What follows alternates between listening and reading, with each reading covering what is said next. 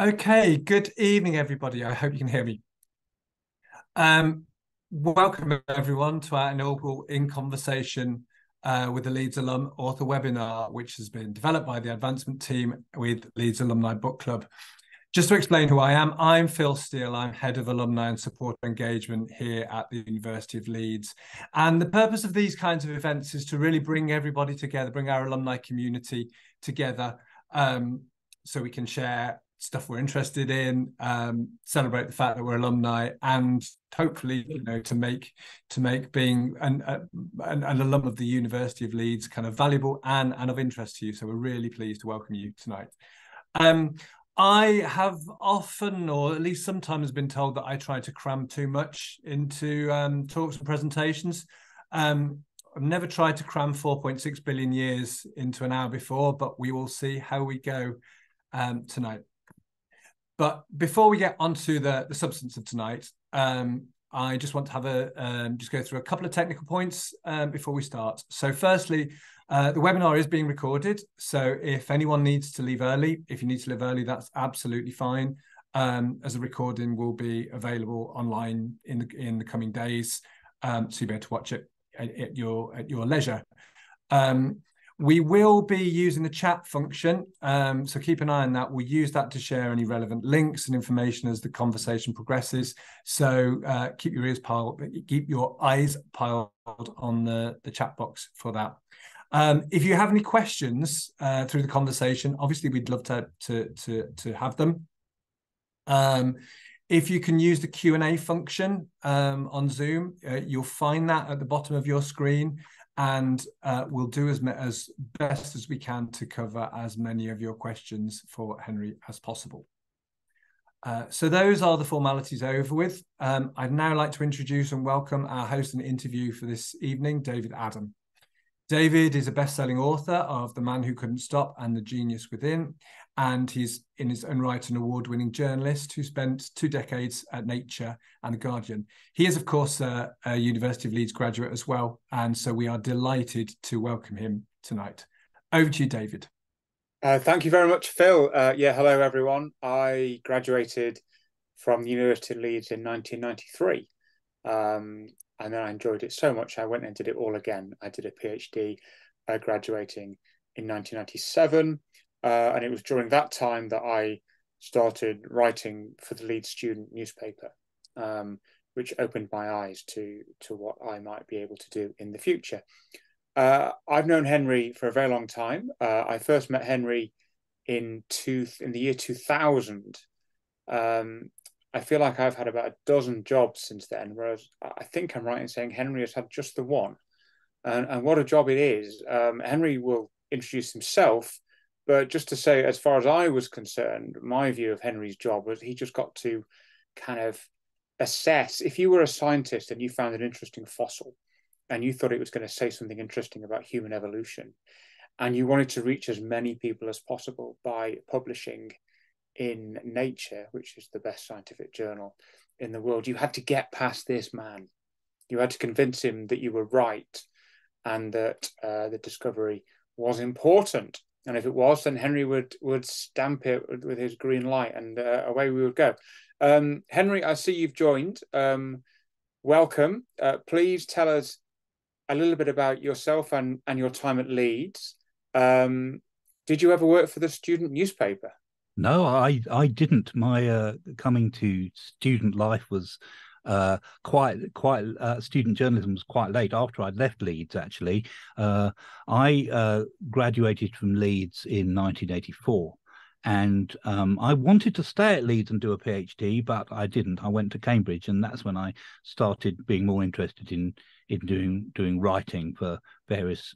Um, yeah, we in Cambridge there's nothing as mighty as Leeds Student. It's much more fissile and divided up. There's the college rag, and for a while I ran the graduate uh, the graduate unions rag, which was very tiny, and I wrote the whole thing, including compiling the crossword. So it was all very uh, small beer.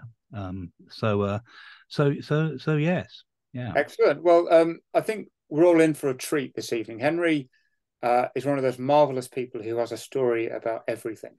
Uh, so I'm very much hoping that he will make my job very easy. If there are any awkward silences, it's almost certainly because Henry has accidentally muted himself rather than he'd run out of anything interesting to say. Uh, so, Henry, here's the book. I have it. Uh, That's it. I recognize it. I do recommend it. Um, it's called A Very Short History of Life on Earth. Uh, why don't you just give us a very short history of of Henry Gee's sort of take on on on his job that, that he does at the moment, and then a bit about how that segued into the book. Um, I fell into nature by a series of unlikely events. I was finishing my PhD at the University of Cambridge and decided I didn't have the kind of um, monomania or concentration span that you needed to become a research scientist. And I was too busy writing and I was too busy interested in other things. Um, then my PhD advisor put an advert on my desk for an assistant editor at Nature. This is one of the people who do, as you described so eloquently earlier, um, uh, is a gatekeeper. They assess the science that it comes in and decide whether, in principle, it might be suitable for nature. So I applied for that job and didn't get it. Um, but I was coming to the end of my funding, and I hadn't heard from the uh, from Nature. I um, I went up for an interview, uh, and me and the interviewer interviewers uh, regarded each other with frank mutual incomprehension.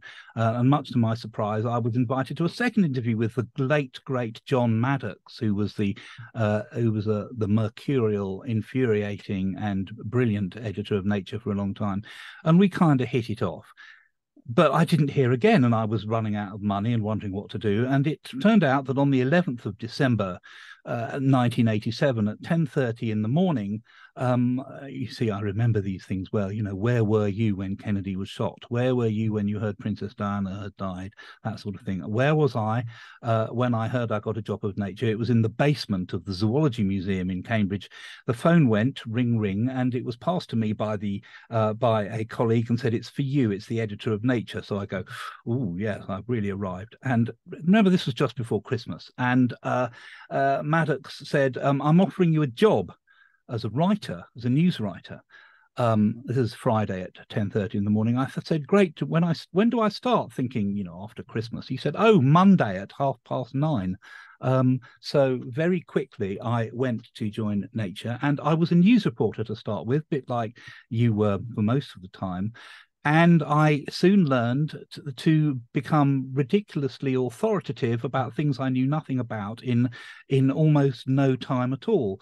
So I was given a news story to write about radiological protection guidelines, which I knew from nothing because I'd been a paleontologist three days before.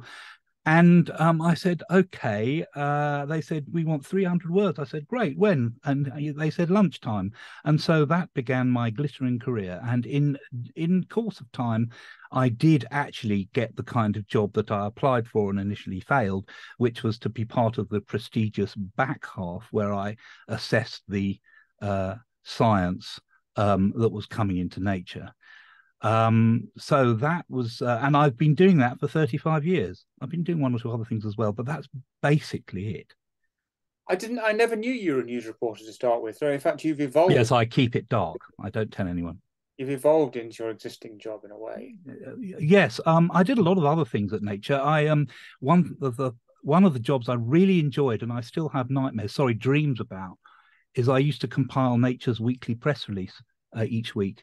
And so I had to write authoritatively about an enormous range of subjects in language that uh, people could understand. And I also, you know, got um, uh, practice in writing lurid headlines that uh, that um, people people could uh, people would um, dyspeptic journalists. It would rouse them from their torpor in time for a press deadline. All, ah, all hmm. good headlines are lurid. Um, well, my favourite one, which actually I didn't get to use, um, uh, was all about a picture that nature was given.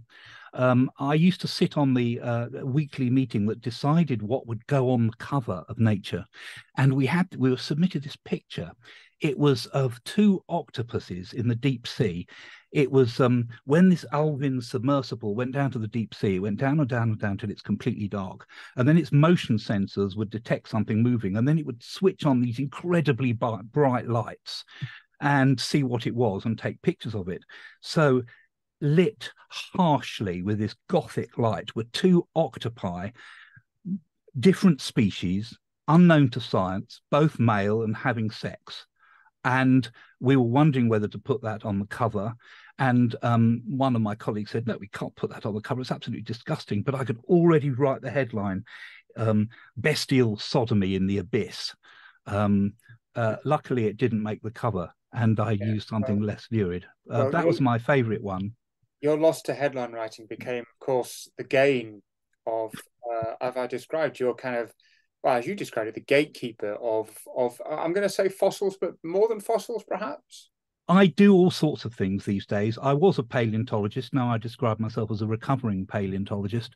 Uh, and um, uh, fossils, the relics of uh, creatures that lived a long time ago, uh, that is about um, half of what I do now. I, I cover a lot of um, uh, a, a, wide range of subjects. As I've been at Nature for a very long time, I managed to extend my pseudopodial reach into many different uh, um, pots. I, have got to stop using these metaphors. I'll get into an awful knot. I've I do a lot of covering of work for other people uh, now, and I help a lot of other people out. So I can be doing you know, hardcore molecular biology one day, and you know geophysics or animal behavior. Um, uh, all in the course of one day. And I have to say, it um, the intellectual interest of my job is just marvelous because on every, any given day I can learn several things I'd never known before. I get to know really new things, and it certainly um, keeps me off the streets. Well, it sounds like there's at least another six books in, in your job. But let's let's talk about this one. Um, I think that's why people have, have signed up. Um, let's start at the beginning. Uh, well, not the very beginning because that's in the book, but uh, let's start at the beginning of this book project. How did it come about? Well, you will know this too because I had just finished another book. I mean, you know what it's like when you read a book.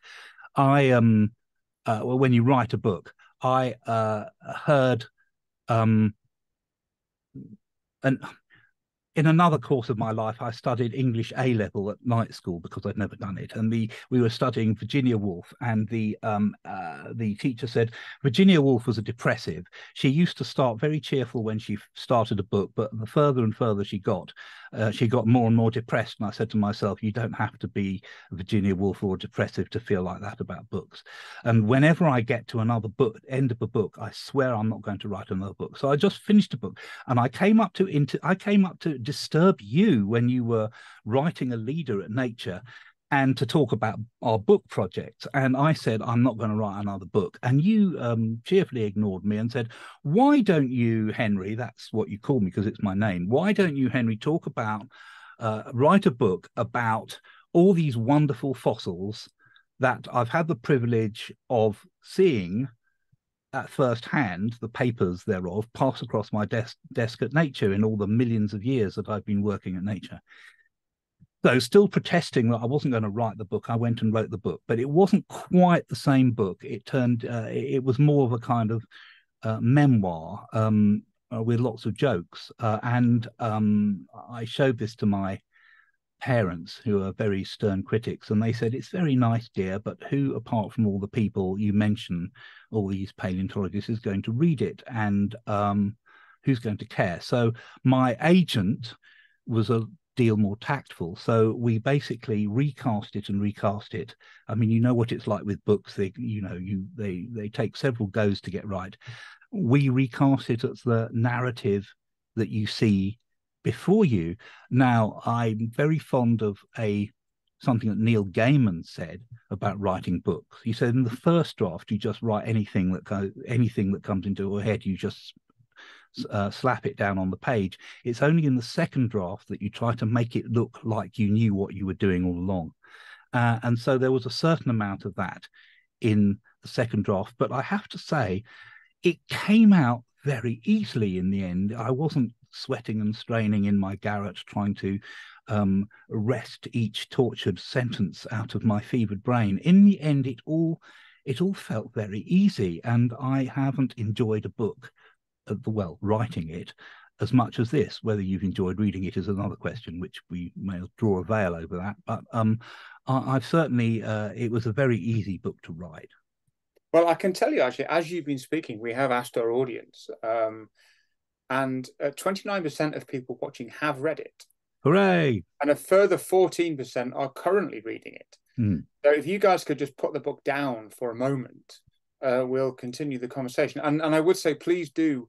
Henry, we had a run through before, and Henry said he really uh, enjoys the sort of uh, back and forth with an audience. Now it's difficult to get that on Zoom sometimes, but do please. He's very willing to uh, to answer any of your questions uh, as well as some of the questions that I have here.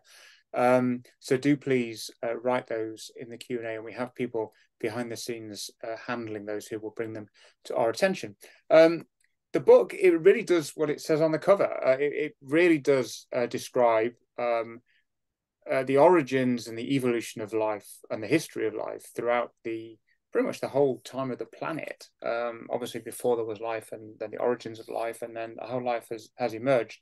Um, it has a, one of the things that I noticed when I read it. It has so many different Latin names of species, um, and I, Henry doesn't know I was going to ask him this, and he can say no. But Henry, would you say that you can describe every species in this book from the Latin name? Uh, not from the Latin name, but I, I, I, they're all my friends, so I, I kind of know what they look like.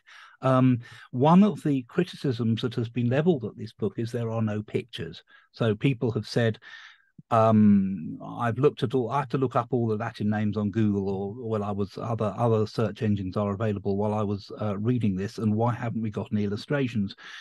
I took a conscious decision not to have illustrations, partly because there are lots and lots and lots of books about the history of life, which have got wonderful pictures in.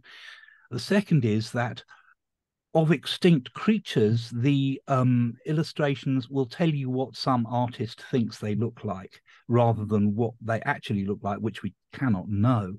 Um, and also, I wanted to make it read like a novel. I wanted to make it like a, a novel or a bedtime story for grown-ups it even starts once upon a time so that you ought to just be able to go with the flow and some of the times i when i was describing some of the creatures um, uh, i would do little pen portraits of what they looked like some of them were rather whimsical um, and um, to get a feel of what this not just looked like but how it how it was, how it behaved, um, its its kind of attitude. So my favourite uh, uh, creature was a creature from the Triassic period, um, uh, 210, 225, something like that, millions of years ago, called Lystrosaurus. And I wrote that it had the body of a pig, the attitude to food of a golden retriever, and the head of an electric can opener, which I think pretty much sums it up enough to give you an idea of its cheerful, go anywhere, eat anything attitude, which is why it was the top creature in the early Triassic period, for example. And so, did you say you sketched these as as illustrations, or just no, sort of no? Well, I did them as pen portraits. I didn't actually draw anything. I'm a ho- I'm a hopeless draw drawist. I was going to say that would make a very interesting uh, sequel. I think. Uh, well, there's going to be an illustrated version for kids, which I've done all the text for. Um, uh, now I'm waiting for the artist who's. Uh, I, I, don't think I can say too much, but the artist is doing her doing her thing at the moment. I mean, the art takes a lot longer.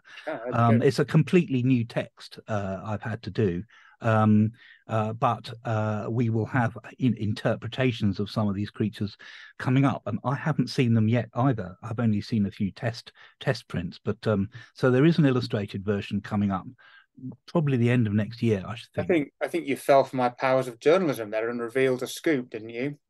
Um, well, I've been seeding it very, very carefully, but um, to, to various people, but I don't think anyone's really taken any notice. Okay, now let's let's talk a bit about the contents of the book, or I suppose how you have seen the study of fossils change, um, because you have been at Nature for 30, 35. 35 years. 35 years, yeah. Now, I'm, I'm guessing... No, no one else would have me, David. I'm uh, that you know that's not true. I'm, I'm, oh no, I, I, know it is true. I'm guessing that in the in the earlier days, then I won't say the older days, the earlier days, that um, people would dig up a fossil and then you would kind of have to queue to see it. You know, you might take pictures, but it'd be quite difficult to, to get a look at it. Um, is is that still the same, or have things like three D printing now changed the way that we view fossils? And and also fossils. Well, why don't you just talk a bit about what fossils are, how they're formed, and crucially, how we're now finding different types of fossils? Gosh, there's such a lot to unpack, but um, uh, fossils are the remains of creatures, animals, plants, any other living things that have somehow survived, preserved, usually flattened in rock uh, until the present time. They're mostly bones and teeth. And as they are buried in the rock, the mineral content of the bones and teeth is replaced by minerals in the rock. Um, and so that's why most fossils that you will find, and I'm sure many people in the audience have found fossils, they're usually shells, uh, hard parts, teeth occasionally, um, and bones.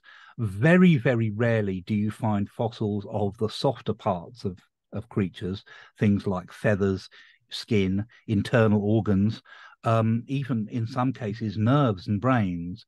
Um, so, uh, it, it, in the past couple of decades, there's been a lot of technological development. Now, as you started with your your question, that was always a problem. Uh, people would write in with a fossil, and um, there was only one of it.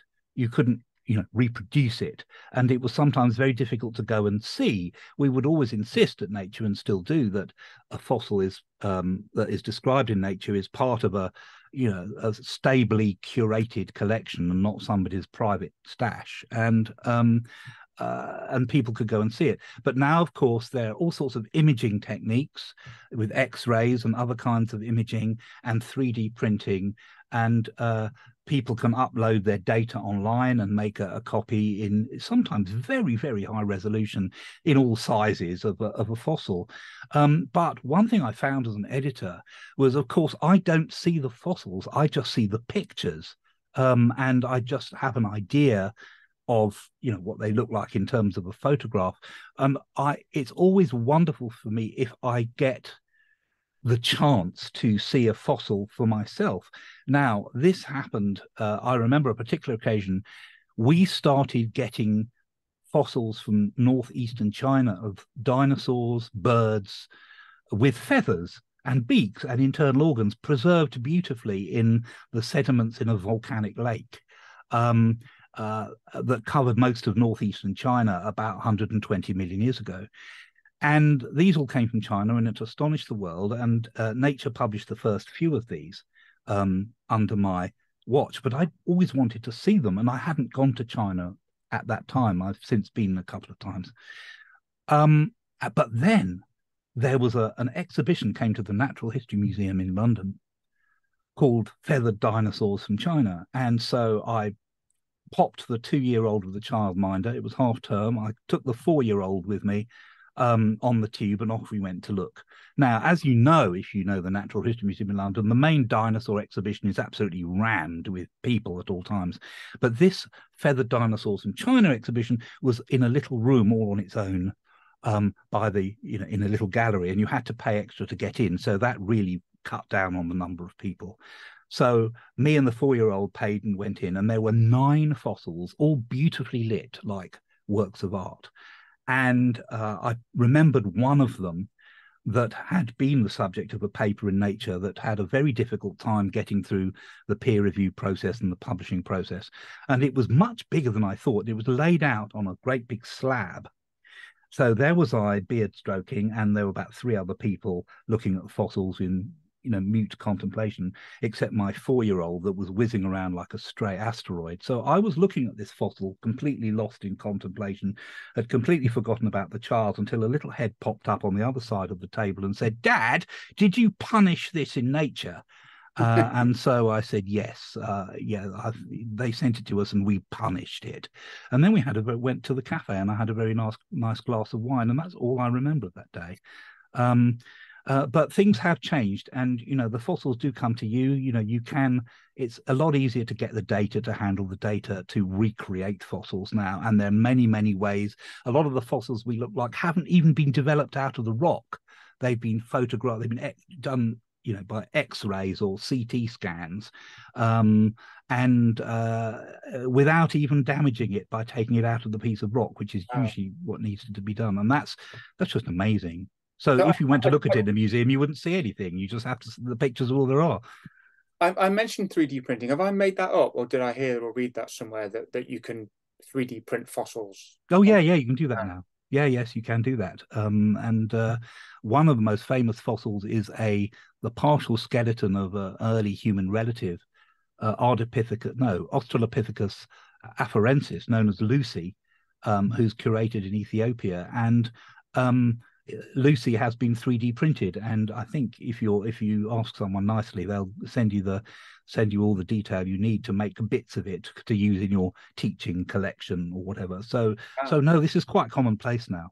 Okay. That, um, yeah. So we have had a question come in, and I am going to ask it, but I've just thought of a question that people might be interested in when we're talking about people sending in um, fossil or pictures of fossils or claims for fossils you know, there have been some very high profile examples in the past of people creating fossils, you know, putting two together and, and pretending and basically hoaxing people that they found uh, a fossil that never actually existed. Uh, uh, do you ever get any of those? Yes, we have had quite a few of those in the past. Well, we, uh, that's not just the royal we. I mean, there are more more in nature than me, so it is we. No, we have had a few that have come uh, along, and particularly in in China, where a lot of the fossils are discovered by uh, farmers and people working in the field and sell them to dealers, there's a certain amount of cut and shut jobs that have to be um, uh, uh, eliminated. Uh, we don't get that as much as we used to, but it certainly does go on. Uh, and um, um, people have you ever got close to ever got close to taking one seriously? Oh yes, I won't tell you which. you didn't publish it though. Um, well, um, there was one that we did publish, but it was as a different thing because they realised halfway through that they'd been spoofed. Um, and when they took out took off the bits that were well, there was and there was another one that was um, actually two different creatures, but two, uh, you know, the back half of one and the front half of another that had been glued together. But each one was interesting, so I think they all ended up in in nature somehow, or they were certainly published. But when they got rid of the rude parts. Um, so we have, as I said, please do send in questions. We have one from from April Maston, who I think is in Long Island, New York. Hello, April. Thank you. Um, it's a really beautifully phrased question. I, am I'm, I'm not even going to try and paraphrase it. I'm just going to read it out, Henry, if you'll bear with me. Mm-hmm. Um, and I think I think this is one of the uh, what did we say? Twenty nine percent of people who have read the book or maybe April's one of the fourteen percent who are reading it and has got. No, I think she's read it to the end. Gets to the Can end. Yes. See the question. Yes. Can everyone else see the question, or shall I read it out? Uh, I'll, I'll read it. One of the most intriguing aspects of this history for me was finding out about the several extinctions that occurred after great catastrophic events. This may seem odd, but learning that life returned after those extinctions made me feel less afraid of the extinctions of Homo sapiens. But the end of the book which describes the end of the earth in a million years or so, did upset me. You say that knowing that makes what we do now more, not less important. Can you explain what you mean? I shall try, April, and thank you for that question. Um, the subtitle of this book is 4.6 billion years of history, but actually, I add another billion years on for free. Um, you know, you don't have to pay any more for this. So it's actually 5.6 billion because, um, spoiler alert, life on Earth will come to an end long before the planet is swallowed up by the sun when it gets to a red giant phase.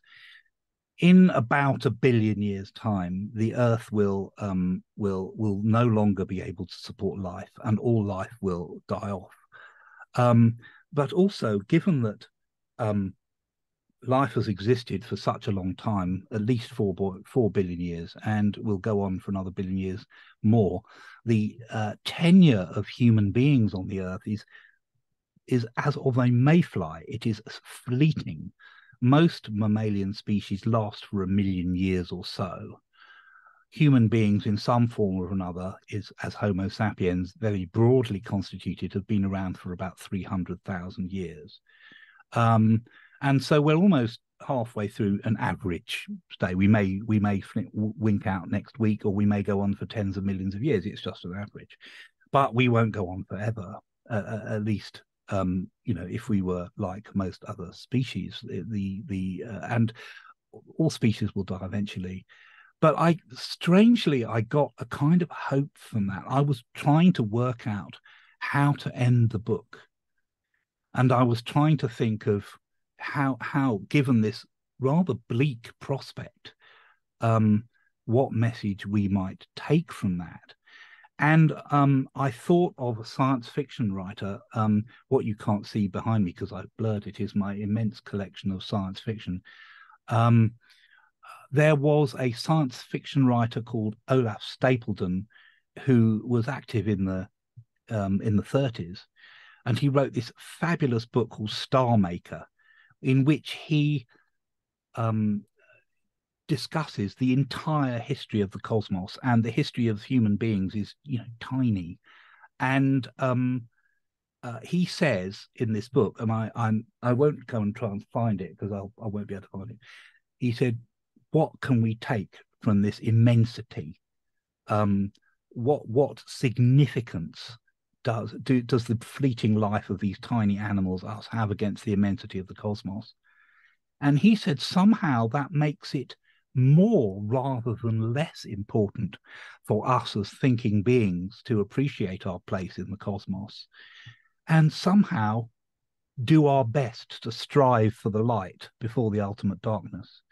Now, a bit of context Stapledon was a pacifist.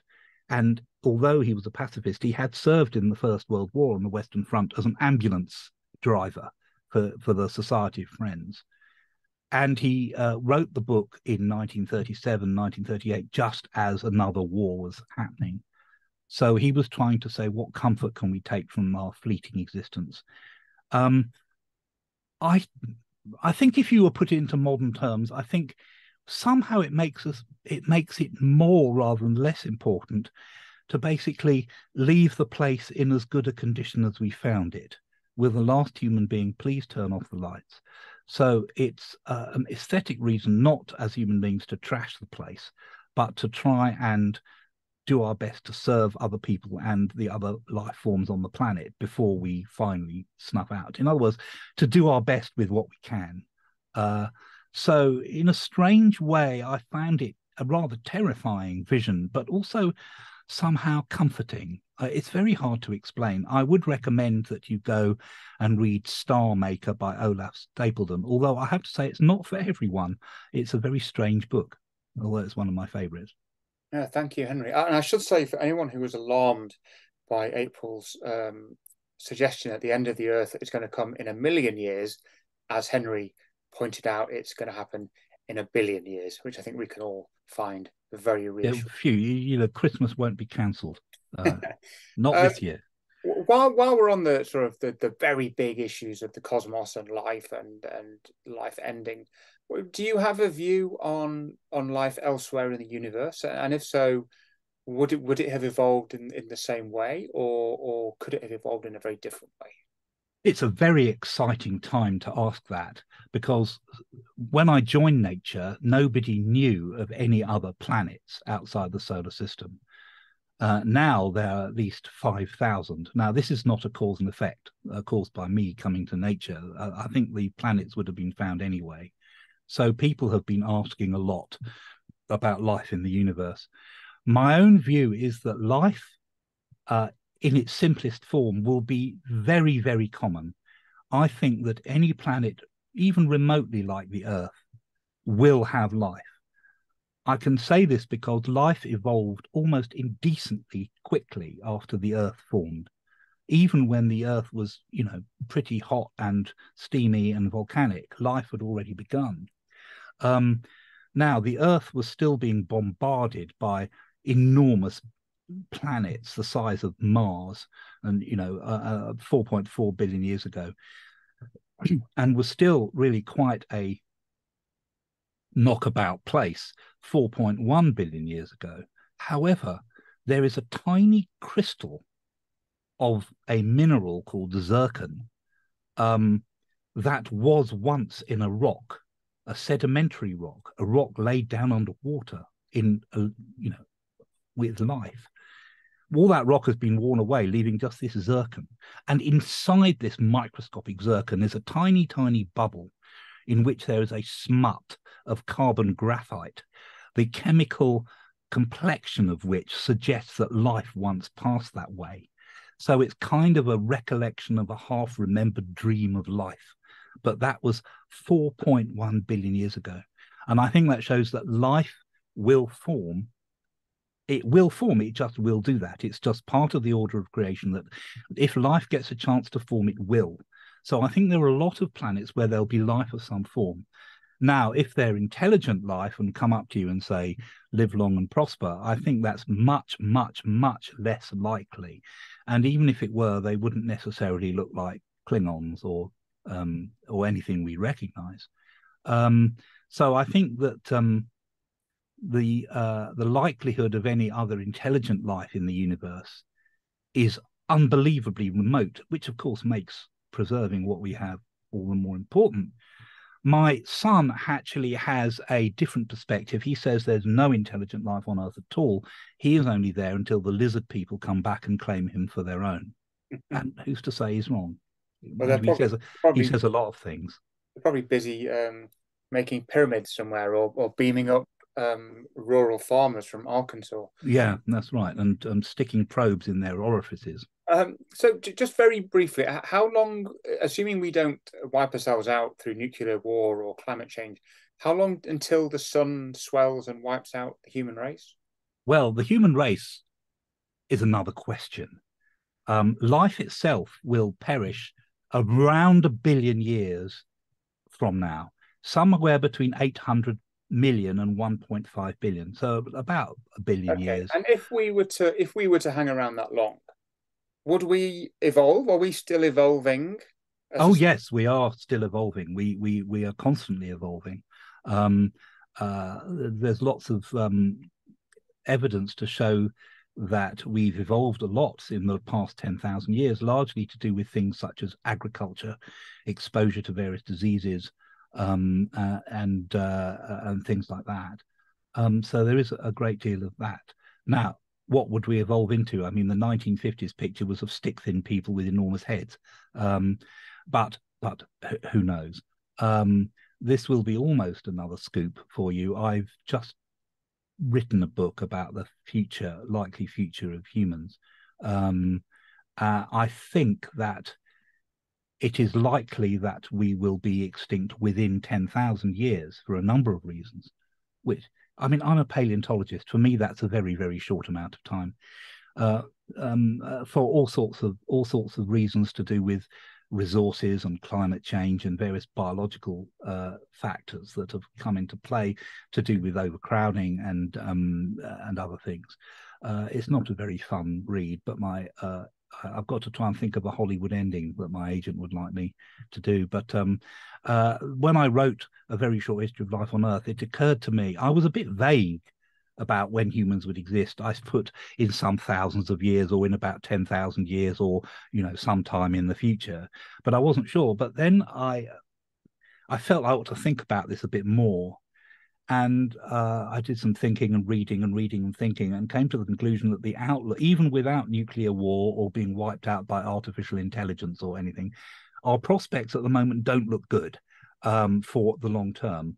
They might look good if we went into space, but then we'd probably evolve into all sorts of different creatures, and then we the definition of human becomes moot.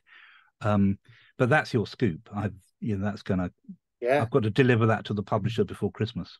That definitely sounds more like the Virginia Woolf model of writing a book. Um, that was the Virginia Woolf all the way through. That was depressing if, all the if, way. If anyone watching doesn't understand that reference, you'll have to watch the beginning on catch up. Mm-hmm. um, so we had a question before we began, um, and and I thought it was a really interesting one, um, and it was about, but in particular, about human lifespan and how we've extended it over the years, and and how we are now living longer than we were perhaps ever evolved to do so, or the conditions through which we evolved. Um, and the question was whether have we have we did our ancient ancestors experience things like the menopause, for example, Was it all just compressed into a different sort of times, uh, what sort of lifespan, or have we now? And you constantly hear the reasons for all the various sort of modern malaises is that the modern world is different to the one that we evolved in. Um, you know, that's blamed for things like mental health, it's blamed for dietary problems, it's blamed for allergies. Is there any sort of truth in, in, in that? What's your what's your take on those? I know there's a lot to go out there. Maybe mm, start mm. with the menopause and, and then we can go elsewhere. Um, I think uh, the short answer is yes. I think the, the modern life we have is the cause of a great deal of problems um, but our problems go back a long way. Um, one of the terms I use in the book is hominin, which is a technical term. It basically means any creature more closely related to us than to chimpanzees. So it's all the um, it's all our precursors and cousins and ancestors and uh, back into the past. And the mark of a hominin, as opposed to any other ape, is that it walks upright.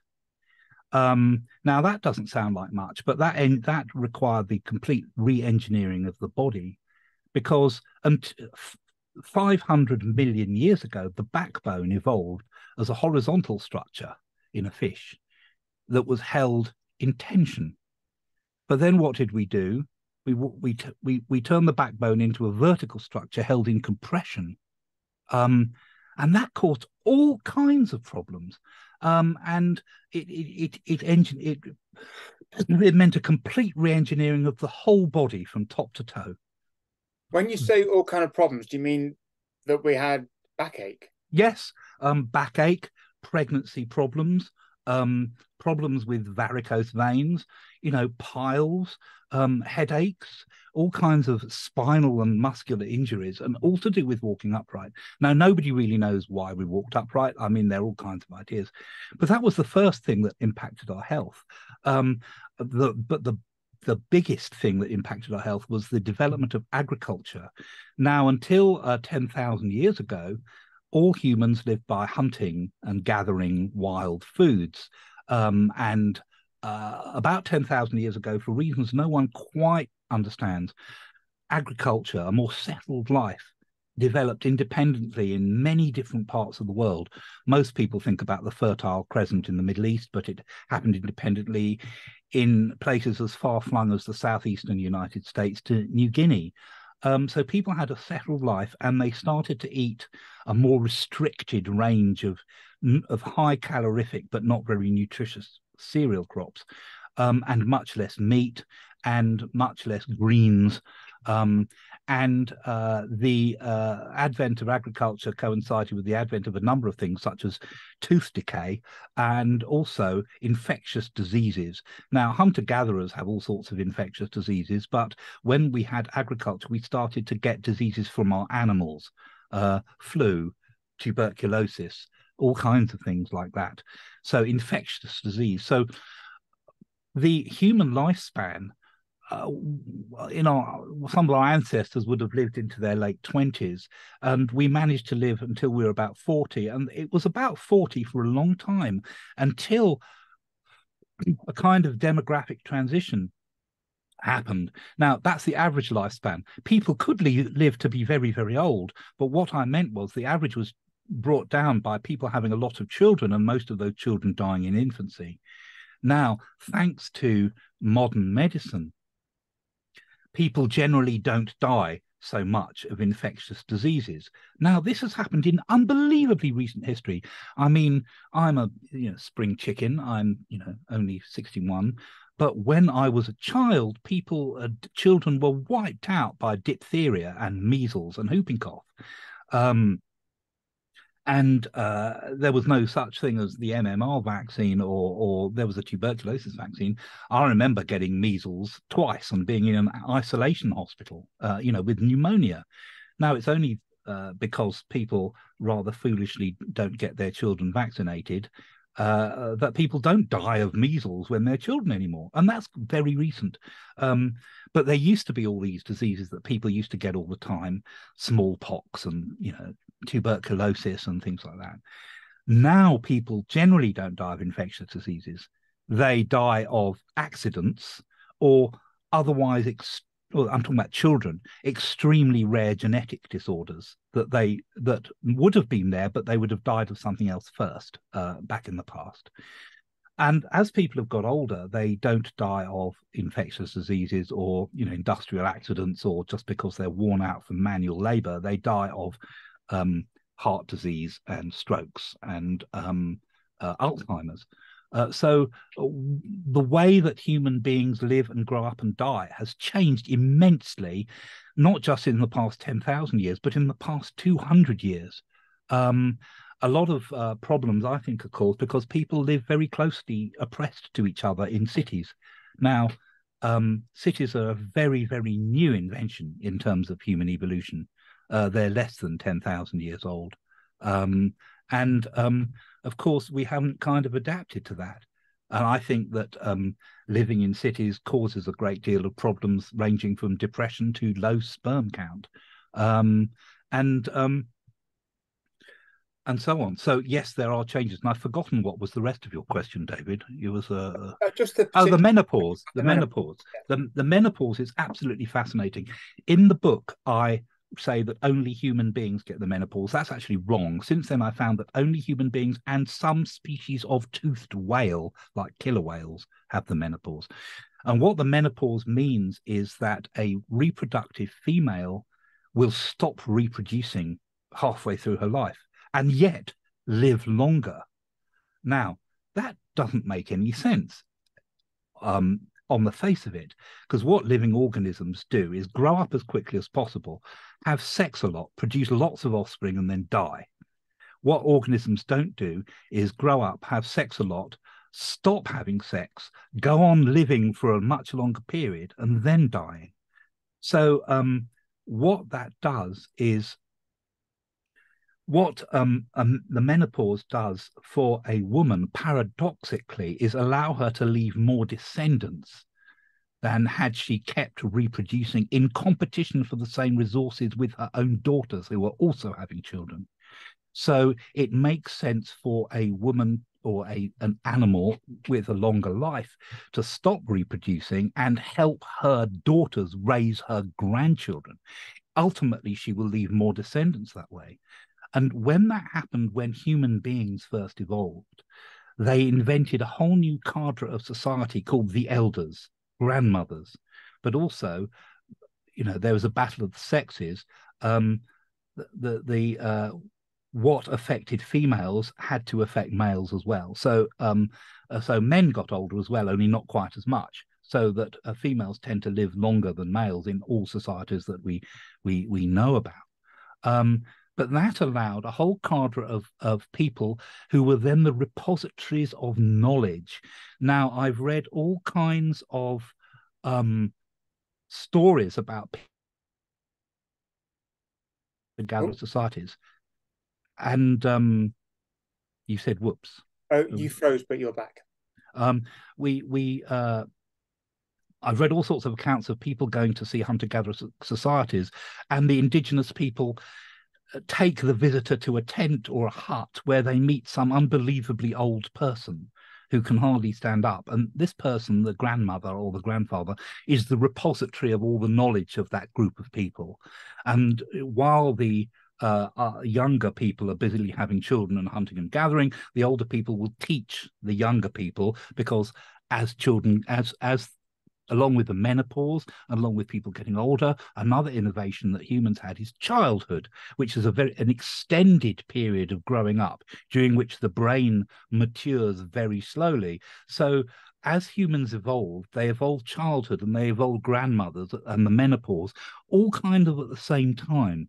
Um, and uh, people are only beginning to um, understand that the same is true in several species of whale. They have elders who usually matriarchs who keep the the young bucks in order and stop them, you know, going around getting into trouble.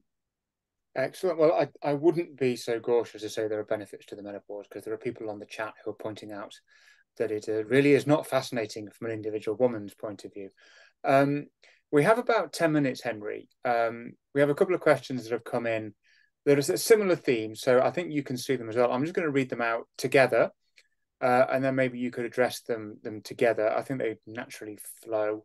Um, the first one uh, is just someone asking for the receipts. Can you share how you reach projections, for example, that humans will exist until X and other life forms will continue until Y?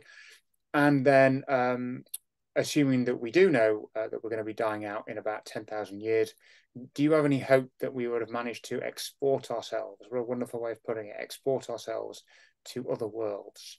Um, oh, and we have another question about you write a book about life on Earth, Henry. Everyone wants to talk about the end of life on Earth. Um, we have Olive Walker saying uh, that they believe it's too late for nature to evolve and adapt fast enough to survive to issues of um, the problems caused by things like global warming and pollution. Why don't we deal with the uh, the end of life in ten thousand years uh, first, and then maybe we can go back to uh, perhaps the sooner um, the the end of life in ten thousand years it comes from a rather boring statistical calculation, um, which I won't go into now, about the likelihood that the time that you are living in now is in any way special. Like, what is the likelihood that you're living in the first two point five percent of human existence, or the last two point five percent of human existence? The likelihood is you're living somewhere in the middle. Um, but that is predicated on the fact or the supposition that the time you are living in is is in some way not special. In my next book, I say that the time we are living in is special because for the first time in human history, the population of humans is slowing down, the growth in the population, and will start to reverse. Uh, so the calculation from that suggests about about 8,000 to 10,000 years. But um, it's, a, it's, kind of a philosophical point rather than a projection of any current. Trend. Yes, because it, projection of current trends is extremely difficult, and, and nobody's really projected human populations beyond the year 2300, and those are very, very rough. Um, but it could be that the special time we're living in is right at the beginning of human evolution, in which case we will be going on for 12 million years or so. And I suspect, um, looking at, um, uh, oh, the question about exporting to other worlds, I'm trying to see who asked that. Um, Mandy. Mandy. Mandy. Thank you. Um, I think that that's a very good question. I think that uh, my personal view is that human survival will uh, depend on exporting ourselves to other worlds, either man-made habitats in space or to the moon or to Mars, um, probably inside hollowed-out asteroids. Um, uh, now, an interesting fact is that uh, we've um, only that there have been about 400 people who've gone into space, but then almost all of them have gone into low Earth orbit. Now, the only people who've been who set foot on the moon, there were only 12 of them. They were all white, male, and American, and they all came home again. And that was 50 years ago. The last one was in 1972. In fact, the whole Apollo space program took place in the time it took Led Zeppelin to release their first four albums. And nobody's been back since. But since then, we've had a lot of eccentric billionaires and other people um, projecting and some way and sometimes um, fulfilling ideas to make spacecraft that are very powerful and possibly allow us to reach other worlds. It used to be the case that only governments and collaborations of governments could afford to indulge in space travel. That is no longer the case.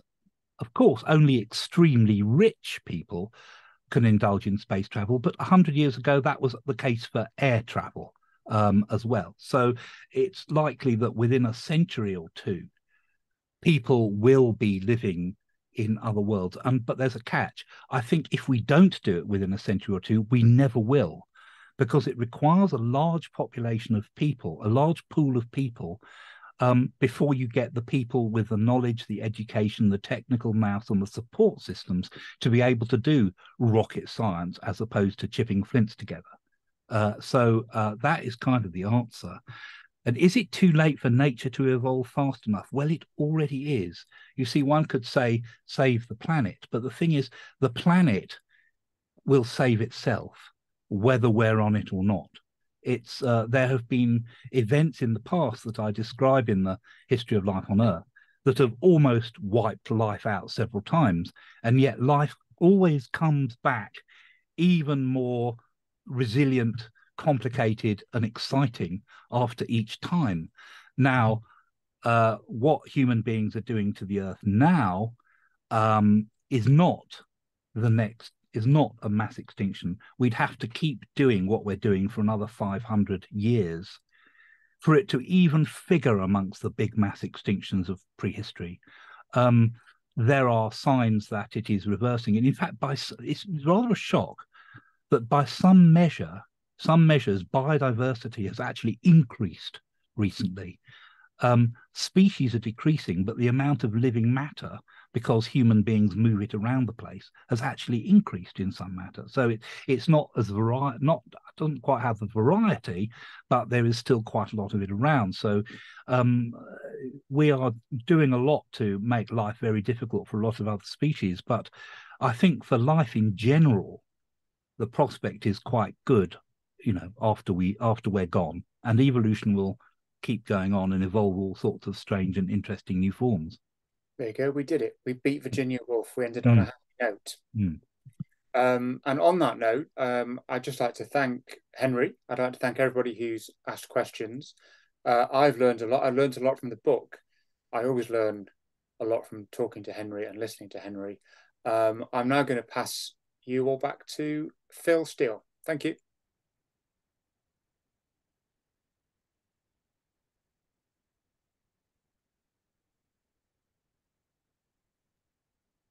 Thank you both. That was an absolutely fascinating discussion. Um, it was. It, it was. I. I'm sorry that we had to end. It, actually, I could have listened to more of it, but it, it, it is time to bring it to a close. Um, I would say, like, say a huge thank you to Henry and David for giving their time today um, to talk backwards, backwards, forwards, uh, and even beyond in time, and even even beyond the planet itself. Um, please do complete the feedback form when when you've when you've completed tonight's um, tonight's event. We we really do want to, to get your feedback. Um, it really it helps us to know what works, what what doesn't work, what you're interested in, what you're not interested in, um, and and to help us deliver the best the, the best stuff that we can do for our alumni. So so please please do. Um, you can see the QR code on the screen uh, or there's a link in the chat. Um, obviously we've put some links so please do do explore henry and david's work. Um, lots of lots of brilliant reading there as well. Um, and as i said at the beginning obviously you can um, rewatch this um, and um, tell, so tell other people about it and they can watch it as well if they didn't have chance to, to watch it tonight. Um, but that's all for tonight. Thank you very much for watching